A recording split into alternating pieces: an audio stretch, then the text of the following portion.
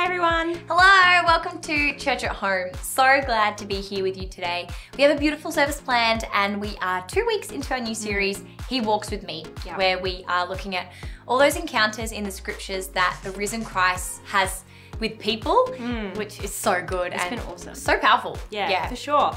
And if this is your first time tuning in, we're super glad that you're here. Yeah.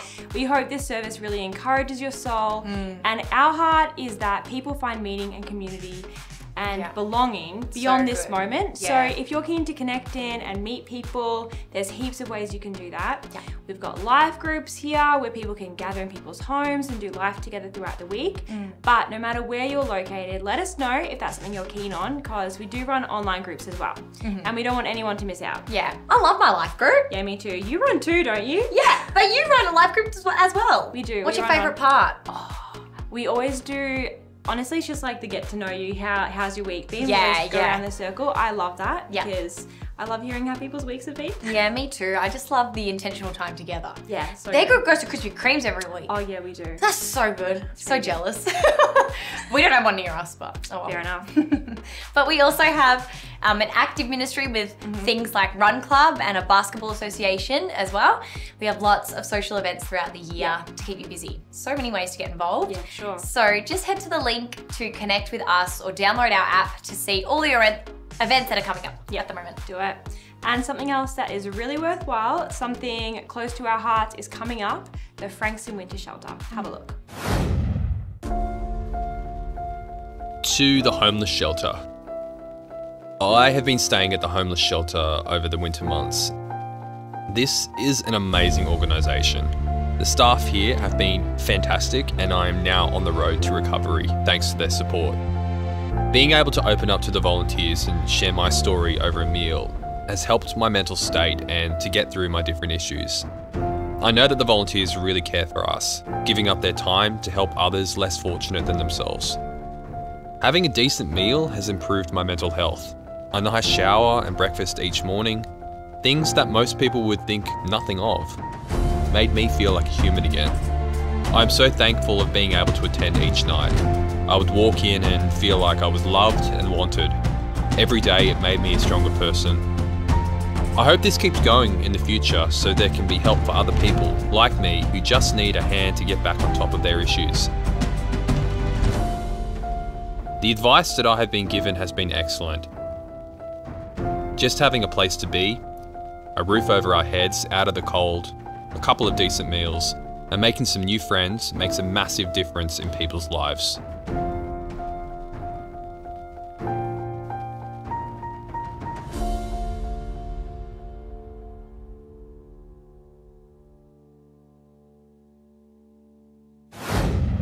So amazing. It's the churches of Frankston getting together to provide crisis shelter and community for people experiencing homelessness, Yeah. people sleeping rough in the colder months. And you know, it takes a huge team to make this happen. So if you can see yourself helping set up, pack down, making beds, mm. playing games with guests, you know, we need people of all sorts to help out with all sorts of shifts. So mm. Head to the link and sign up for the training day on Saturday, the 20th of April. Yeah, it's just such an important ministry. Mm. This is what really matters clothing the needy, feeding the poor, housing the homeless. So, what an amazing thing to be Mm. a part of. It's making a real difference to this community. Yeah, absolutely. And hey, how can we pray for you this week, church? You know, we mm. love journeying together, doing life together. Yeah. And a great way to do this is by holding each other up in prayer. Mm. So we've got a prayer team that faithfully and confidentially prays over every single request. So let us know. We'd love to support you in that way. Yeah, so good. Mm. And thank you to everyone who gives financially to this church week in, week out. I know many of you have set up recurring giving online, and it makes such a massive difference and enables us to provide crisis shelter for people in our community. Yeah, for sure. So thank you so much. If you'd like to start giving today, you can do that via the details that are provided. Yeah, the best. Well, this morning is our second week of He Walks With Me, mm-hmm. and none other than, other than Jacob is bringing the word. Whoop whoop! So exciting. He is sharing on Peter's encouragement with Jesus after his resurrection. So come on, let's prepare our hearts for that and worship together.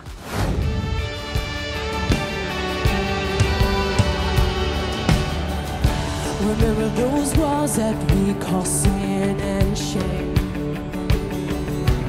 They were like prisons that we couldn't escape. But he came and he died and he rose. Those walls are rubble now.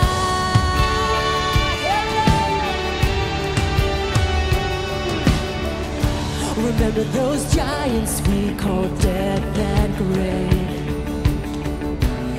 Caroline mountains that stood in our way. But he came and he died and he rose. Those giants are dead now.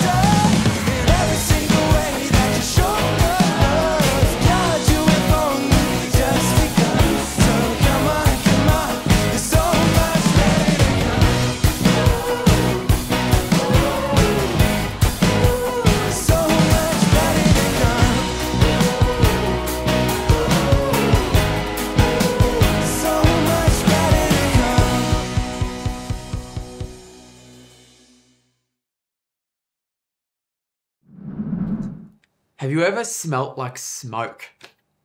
You know when you you go somewhere uh, and there's a fire pit there, and, and even if you're only there for a short time, that like sticky smoke smell it just like sticks to your clothes, and you know the next day you wake up and you go to your cupboard and you, you can't even escape it there. Whatever clothes you were smelled like they were they might as well have been like on top of the ash pile all night. um, or if you've got long hair, that like harsh smoke smell can even get trapped onto your head like some inescapable smoke flavored hat or something.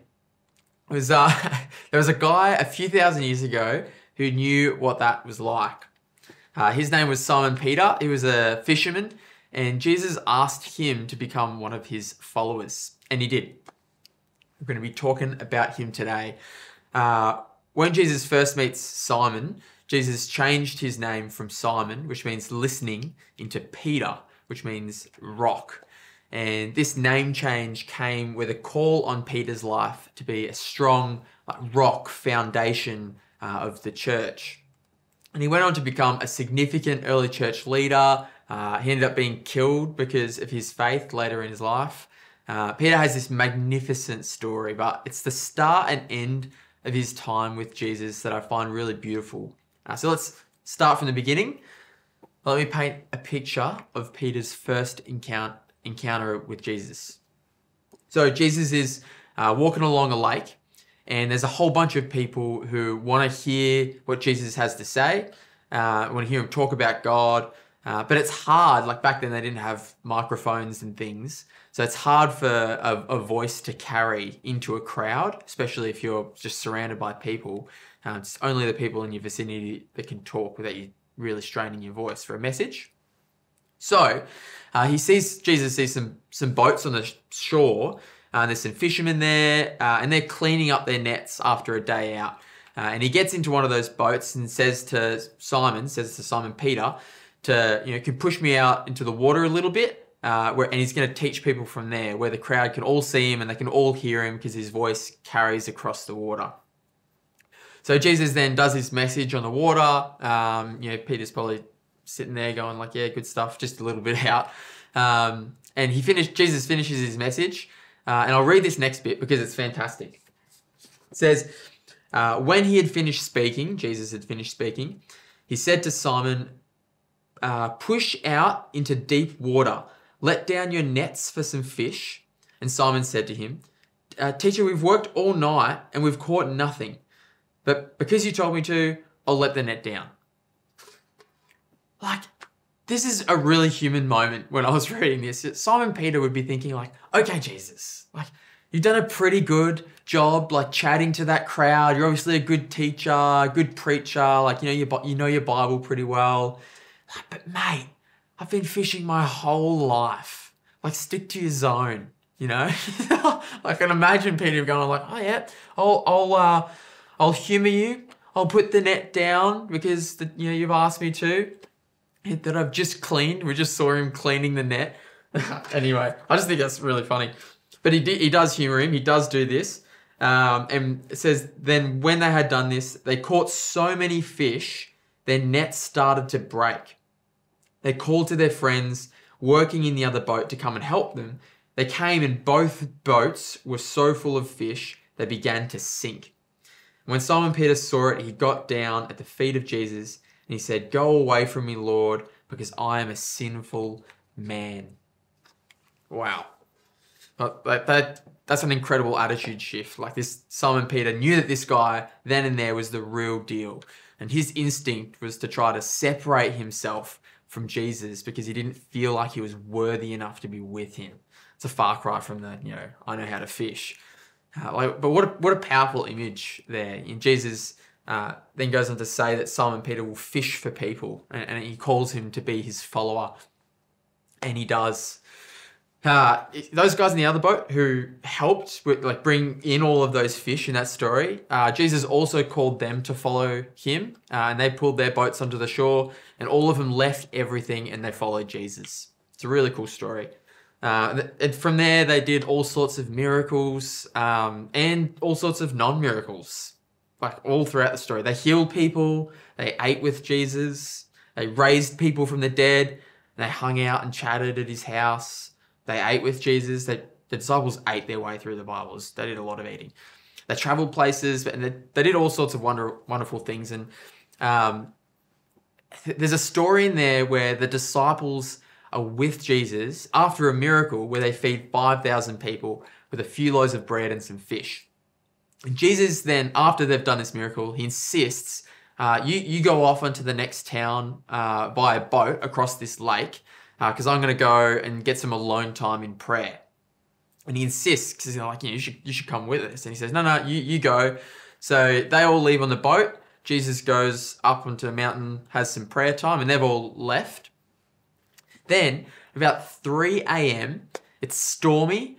The disciples are struggling to row this boat, uh, row the boat, and it says, Jesus came toward them, walking on the water. He intended to go past them, but when they saw him walking on the water, they cried out in terror, thinking that he was a ghost. Let's pause there a second. He intended to go past them? who, who is this guy? He's doing one of the craziest things I've ever heard, walking on water. And he was just trying to pull a little sneaky one onto the disciples to surprise them when they got to the other side and be like, oh, I beat you here. And just, that is hilarious. I can imagine the little the little wave he gave them. know, followed by, he then said, you know, don't be afraid. He said, take courage, I am here. Then Peter called to him, Lord, if it's really you, tell me to come to you walking on the water. Yes, come, Jesus said. So Peter went over the side of the boat and walked on the water toward Jesus. But when he saw the strong wind and waves, he was terrified and began to sink. Save me, Lord, he shouted. Jesus immediately reached out and grabbed him. You have so little faith. Jesus said, Why do you doubt me? When they climbed back into the boat, the wind stopped. Then the disciples worshipped him. You really are the Son of God. Incredible, incredible story.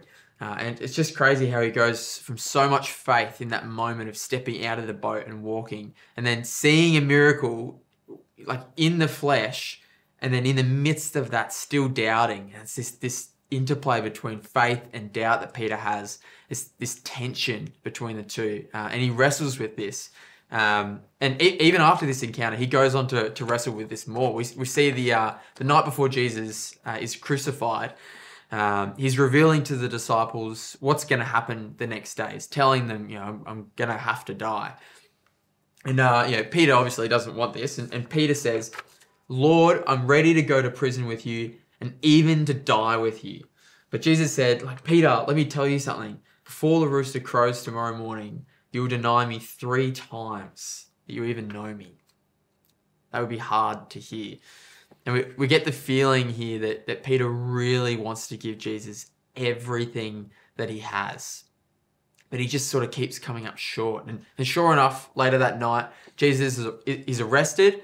Uh, and I want you to pay attention to where Peter ends up physically in, in this next part of the story. It says, Peter followed at a distance. The, the guards lit a fire in the middle of a courtyard and sat around it. And Peter joined them there. A servant girl noticed him in the firelight and began staring at him. Finally, he said, This man, you know, this was a follower of Jesus. And Peter, denied it. He said, Woman, I don't even know him. After a while, someone else looked at him and said, You must be one of them. And he says, No, I'm not. Um, after an hour later, someone else said, This, this must be one of his, the disciples of Jesus. He, he's a Galilean. Peter said, Man, I don't, I don't even know what you're talking about. And immediately, while he was still speaking, the rooster crowed. And at that moment, the Lord turned and looked at Peter. Suddenly, the Lord's words flashed before Peter's mind. Before the rooster crows tomorrow morning, you'll deny me three times. And Peter left the courtyard weeping bitterly. Can't imagine the, the look in Jesus' eyes. You know, that moment right after he's betrayed him and the, the, the guilt he must have felt and the shame would have been tragic. Um, you know, Peter loves Jesus, but his fear, like it had before, had him sinking.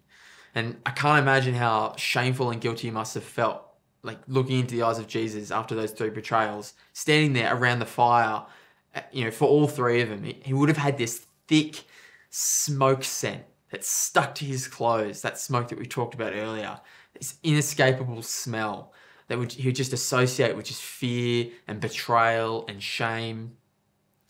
But thankfully, this, this isn't the last time that Peter looks into the eyes of Jesus.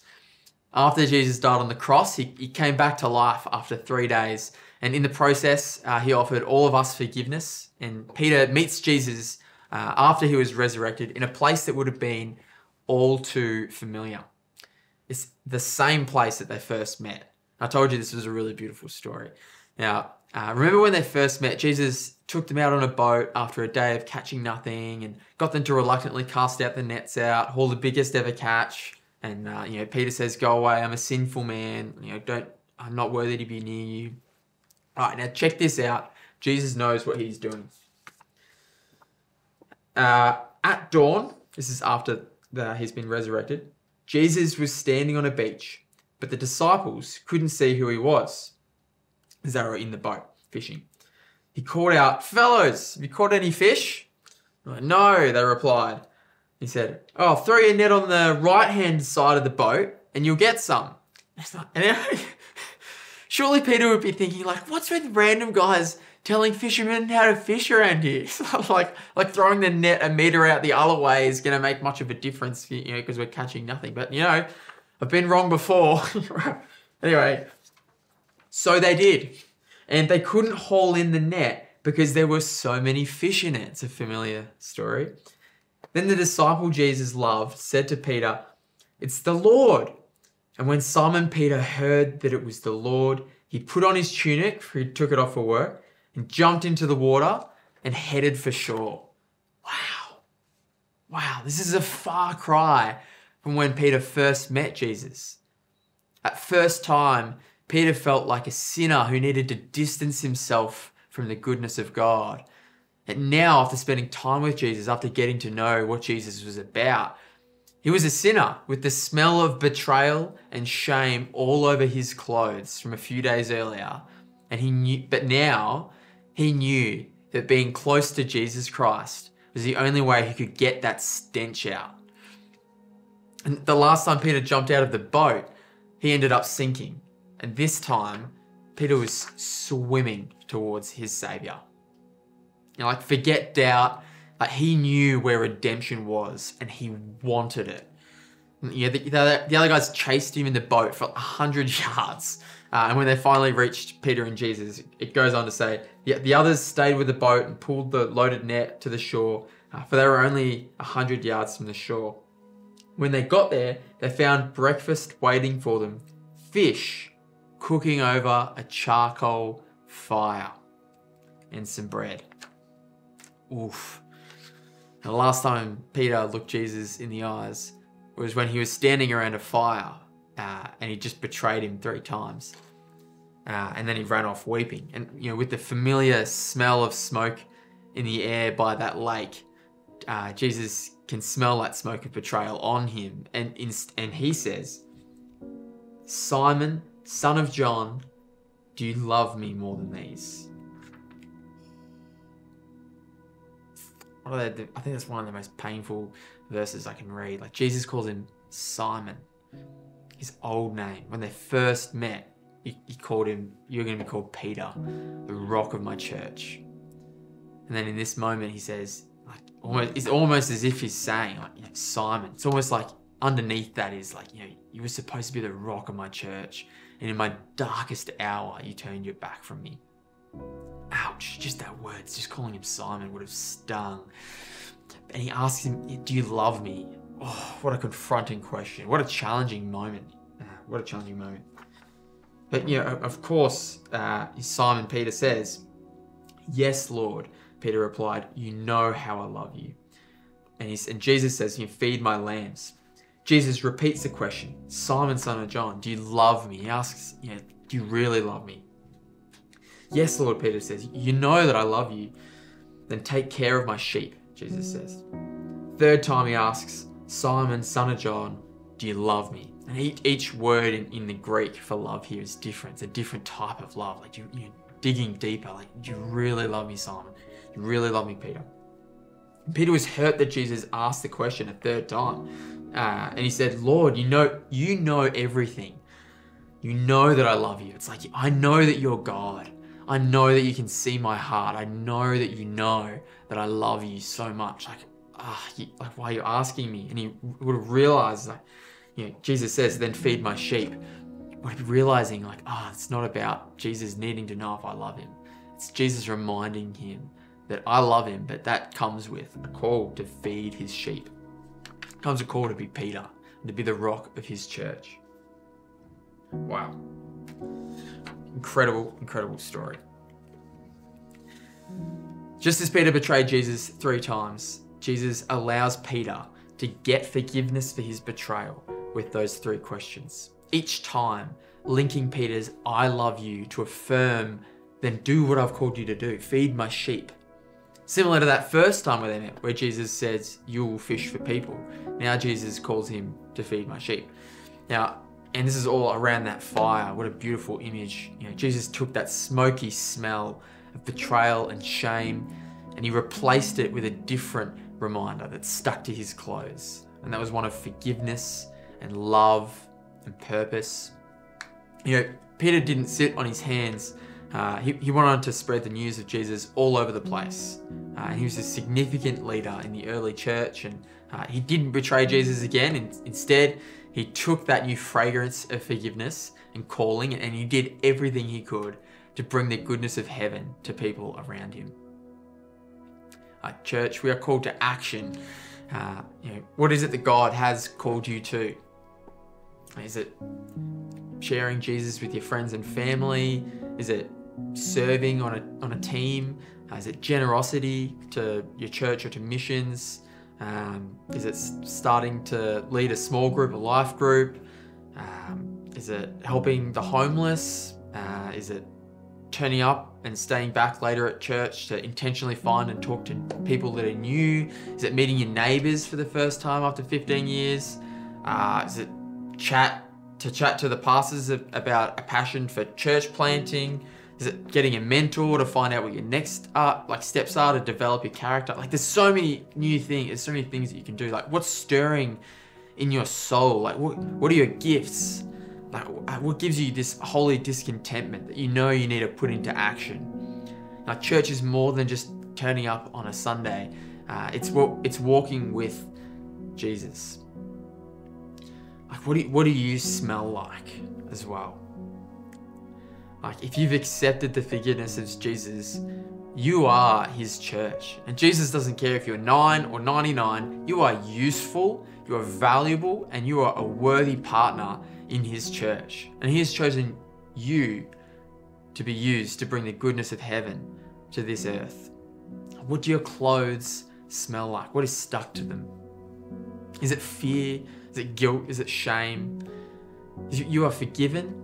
You are worthy. You are the church, and God will use you. Does it smell like brokenness, or do you feel worthless?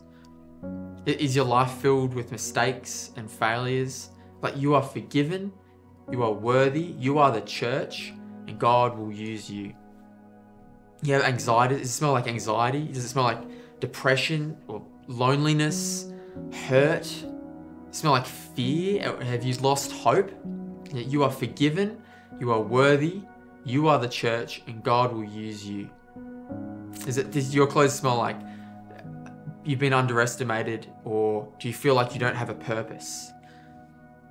You, you are forgiven. You are worthy. You are the church, and God will use you. What do your clothes smell like? Whatever smell has been lingering in your life, church, stand around the fire with Jesus this morning. Lean in and replace it with an aroma of forgiveness and hope and inner healing that only Jesus can give. And let that scent linger and remind you that He has chosen to use you to bring the goodness of heaven to this earth. And He wants to walk with you and partner with you. Now let- let's pray this morning. Jesus, we love you, we love you, and we love you. Help us to be faithful through our doubts. Forgive us and help us to be brave enough to be used by you. Lead the way because we are all yours. Replace our smells with your forgiveness. You are a good, good God, and we love you so much. Amen. And your name is the highest, your name is the greatest, your name stands above them all. That's it, come on, all thrones, all thrones and dominions, all powers and positions, your name stands above them all. Let's sing that again. Your name is the highest.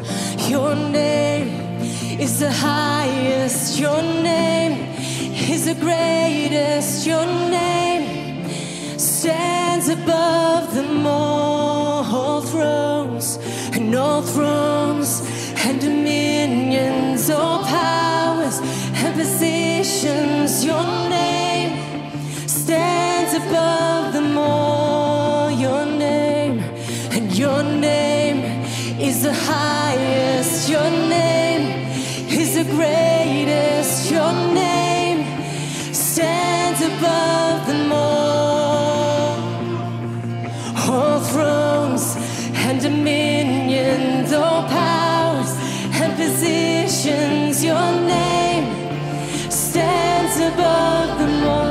a thousand generations, a thousand generations, falling down in worship to sing the song of ages to the man. Come on, that's us. That's it. Sing it out.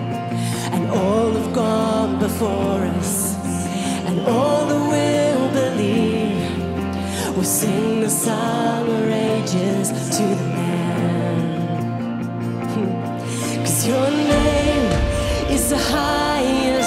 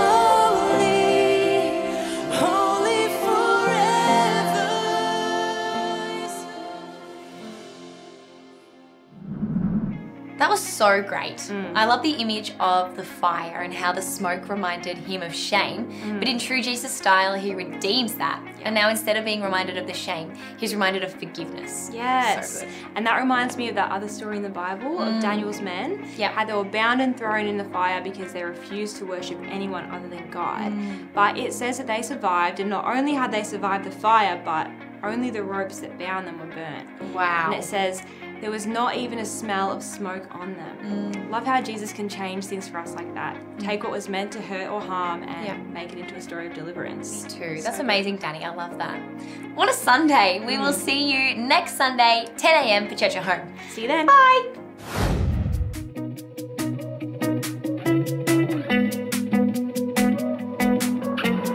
When I look back, I can